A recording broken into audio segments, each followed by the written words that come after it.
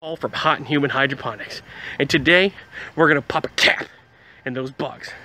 So today, I'm getting sick and tired of it. I come home, I come to my beautiful garden, and all of a sudden, I see a leafy footed bug sucking away at my tomatoes. And you come home and you see a bunch of stink bugs, or a squash bug, or a vine borer, or a mite, or a ton of stuff, and it just gets old. And you try and they die, and you try and they die. And then you go ahead and you go to the store and you buy some sprays. Oh, it's Armory Organic. And you go and spray it everywhere. Well, tough luck, the rain just came, and all of a sudden it sprayed everything down, and all that effort you put through is now gone two days later. That, my friends, is the difficulty in growing in Florida. Anyways, this is Paul from Hot and Humid Hydroponics, and I was kind of being a little bit goofy, but really I want to talk to you about a new product called uh, Surround WP. It's my first time trying it out, and uh, Surround WP is a wettable powder, and bottom line, all it does is it uh, it, it sprays, uh, puts a, a, fine powder spray that sticks to the leaf surface of all the plants. And it does a couple of things. Number one, it agitates the bug.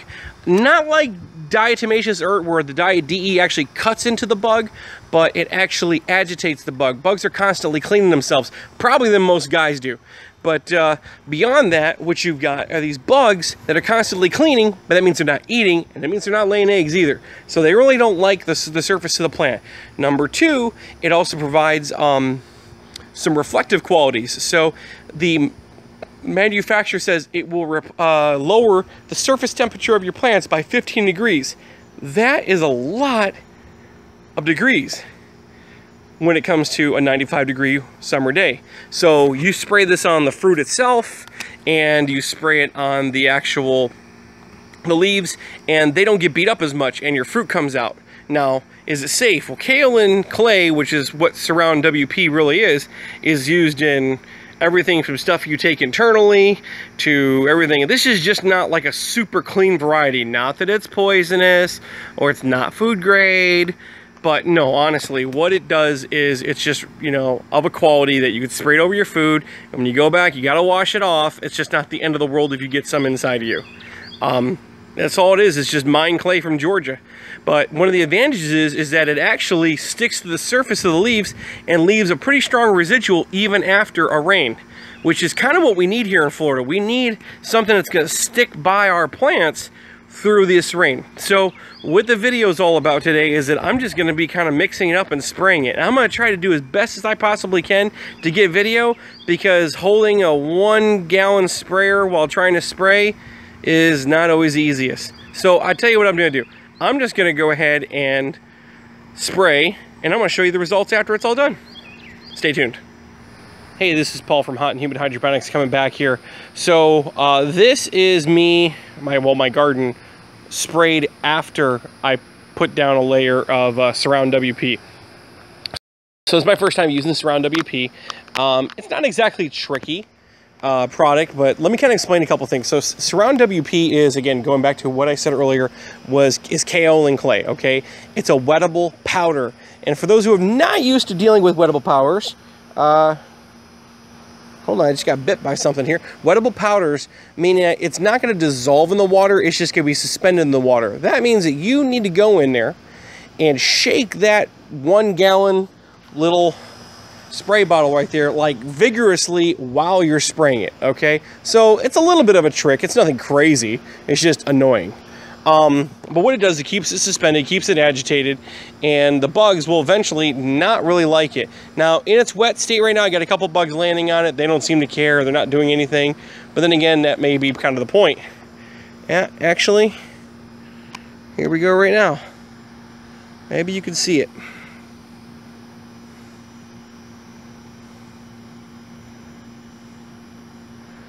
He is on it, and he is not liking it. He's cleaning is what you're doing. This is a vectoring bug. I'm not sure what kind of bug this is. I really wish I could get, there we go. That's a vectoring bug and he is cleaning himself. He is not liking that mix. He's trying to find a suitable spot and he is gone. He flew off. So what this does, guys, is it lays down a film, a powder film all over your garden. And it might take a couple of, uh, it might take a couple of sprays to lay down a nice coat. But ultimately, you can see it here, I've really got it on nice and thick on my tomato plants. I don't know what it is about these um, uh, these uh, Sun Gold tomatoes, which have been, by the way, really tasty variety. Sun Gold cherry tomatoes, they are a hybrid. Uh, don't shoot me. A lot of people kind of like the whole heirloom thing around here. Uh, but I prefer certain types of hybrids. Um, don't get me wrong, I've got nothing against heirlooms. It's just the variety I chose. And, uh, but however, it is attracting uh, leaf footed bugs like crazy. I've never seen them in my yard before. Maybe once or twice, but not like every day I'm on this, guys. These, however, the tomato plant that's just directly adjacent, which is a blueberry tomato, I get it's huge. Um, barely, I barely see any of them on there. Now, however, what scared me earlier is I saw I saw two lubbers fly away, which was not good. Um, going back to lubbers, lubbers that's a bad situation. If you got lubbers, this is that's not good. But I'm sorry, kind of detracted here. Back to surround WP. Bottom line, it's going to dry. It's going to lead a powder white film. That powder white film is going to agitate bugs. And the good news is, is that it's supposed to stay after a couple of rains, which is important when you're extending out a summer garden that usually gets beat to crap by bugs come June, okay? Also, big thing, keeps the temperatures on the surface temperatures on the leaves down by 10 to 15 degrees by acting as a reflectant. So all that white powder ends up reflecting that sun, cools the leaves, allows better perspiration. Uh, the tomatoes are now coated in the stuff, which again is ultra safe um, and is designed to uh, reflect the sun so they won't get sun scald, etc. Going over to, here's a prime example of what it's gonna look like. So here is a watermelon I sprayed first, and that's what it's gonna look like. It's gonna look spattered, just like that. Here are my watermelon leaves. Some of them are doing okay, some of them not so much. This vine is about had it. But I got a good vine going here. I got some good, I got some good, uh, uh, some good uh, watermelons coming in here. They've been pretty tasty, full of seeds though. Not sure if I'll be going with this variety again. Also, it just they've, they've been taking a beating this summer. A lot of, again, going back, to, they were fine up until the stink bugs showed up. Not the stink bugs, but the squash bugs, which are just as bad. So, as I'm rambling on here, again, you can see, hopefully you can see, some of this white powder. That's not powdery mildew. That's me spraying the spray, and I'll be spraying it. Yeah, I know. This guy looks pretty rough too, but guess what? He's still putting out tons of cucumbers lots and lots of cucumbers. So I haven't had the heart to pull it. And on the flip side here, which is the other side of the whole picture, it don't look so bad. So here we are in June and I still got cucumbers. I'll take it. The, the bell peppers on the other hand, they're holding up, but I think they're stressing because of the heat. I might put some 85% uh, sunshade above it, but they are kind of getting beat up by the heat and the bugs. So they got sprayed the best. Um, as you can see here, really the type of uh, leaf surfaces is really what's going to show whether it's how white it's going to be. In this case, these guys are going to be able to be white, and I'm probably going to put another coat on these guys probably tomorrow. I got three days of dry weather, and I want to lay down a nice coat.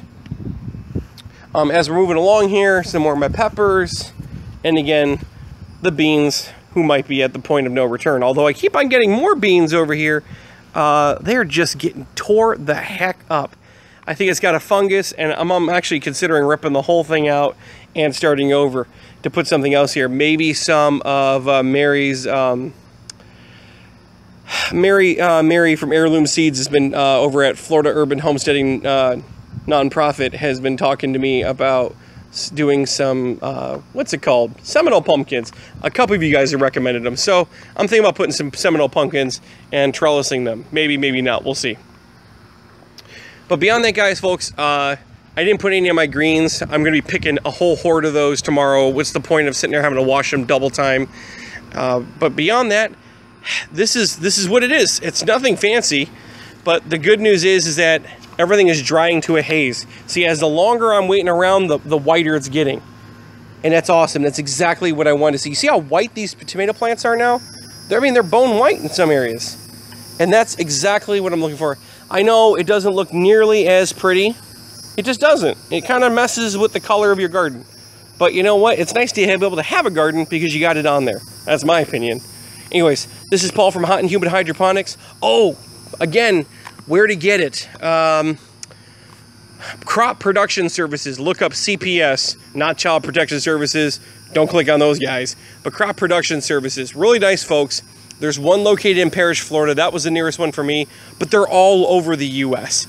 And this is again is Surround WP. It's about it was 20 it was $30 after tax for a 25 pound bag. I used a half a cup inside of a one gallon sprayer and I practically sprayed the entire garden. So it's you know it's fairly economical. I mean, don't get me wrong, it's pricey, but it just beats having to spray down all kinds of bug spray. And I'm not saying you're not going to still have to come back and hit it with your antifungals, etc. But if you can have some layer of general protection against bugs, you know, that's a deterrent, that's what I'm looking for. Anyways, this is Paul from Hot and Humid Hydroponics. Ask questions below if you have any questions. Bye.